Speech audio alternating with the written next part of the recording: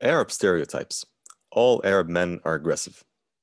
One of the main stereotypes revolving around the Middle East or Arabs in general is that all Arab men are aggressive and short tempered.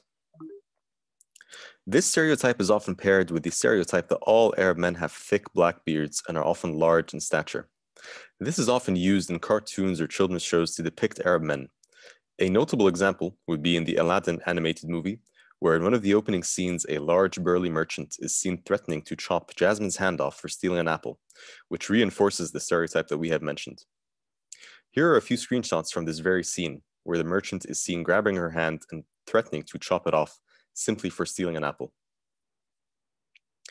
Now, what is the impact of such a stereotype? Given that this specific stereotype mostly appears in children's cartoons, it can have a very negative effect on some young children, perhaps making them think that all Arab men are aggressive and short-tempered and may even try to hurt them. This can result in children becoming afraid of Arab men simply because of this stereotype. Why is it wrong?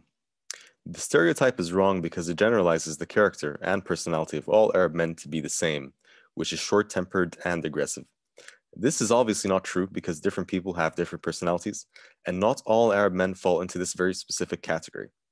And this shows us that Arab men are indeed depicted unfairly with this stereotype. Thank you.